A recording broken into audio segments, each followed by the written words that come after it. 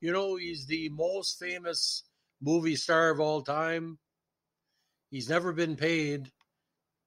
He could be at least several hundred feet tall. Doesn't belong to the studio system, but for the last 90 years, he's brought filmmakers, film goers, and film lovers together in unison. There's only one King Kong. Now, 2023 marks the 90th anniversary of what I consider the greatest horror movie of all time. Now, King Kong is a 1933 American pre-code adventure horror monster film, and that's what it is. It has horror, it has adventure, it has romance, it has Kong. It was directed and produced by the great Merian C. Cooper and Ernest B. Schoedsack, with special effects by Willis uh, H. O'Brien, which influenced the industry for decades. Is it the best uh, movie of the 1930s? Well, pretty close. Only Gone with the Wind and Wizard of Oz compares. Produced and distributed by RKO, is the first film of the King Kong franchise. The film stars Canadian uh, ingenue Fay Wray, Robert Armstrong, and uh, Bruce Cabot. In the film, a giant ape dubbed Kong, captured from Skull Island, attempts to possess a beautiful young woman. Well, everybody knows the plot, and the plot is intense. And uh, now, when it opened on March 2nd, 33 in New York City to rave reviews, it has since been ranked by Rotten Tomatoes as the greatest horror film of all time based on critics and the 56th greatest film of all time. I would at least put a top 20. In 91, it was deemed culturally, historically, and aesthetically significant by the Library of Congress and selected for preservation in the National Film Registry.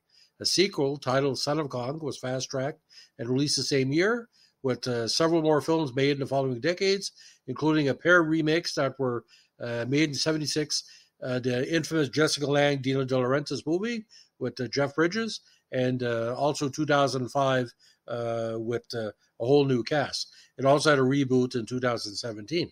Now, the basic plot is is very simple.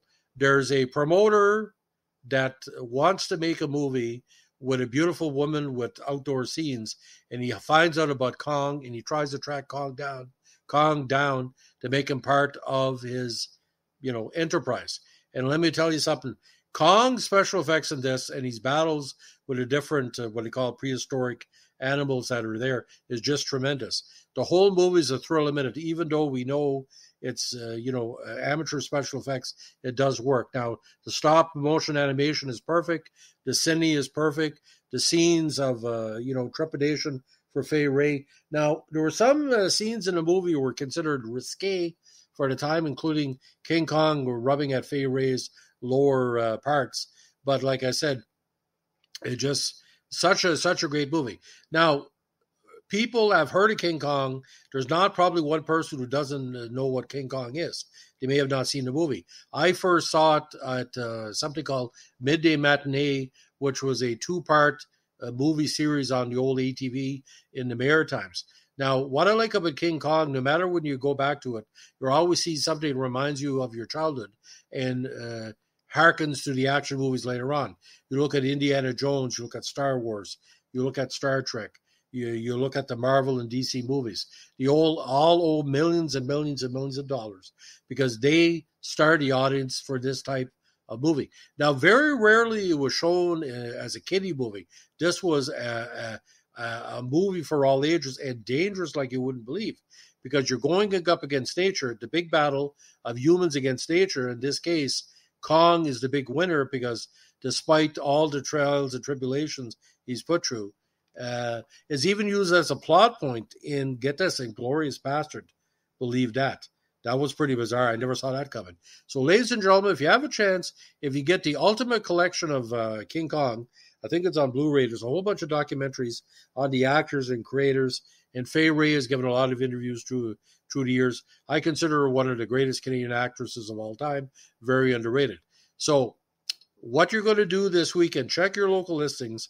Uh, all of 2023, they're showing King Kong either afternoon matinees on in Canada CHCH, late night on NTV. It's well worth. If you haven't watched it in a number of years, the special effects again just tremendous. And as we like to say, there is no king but Kong he's so popular and so so desired as as a leading man.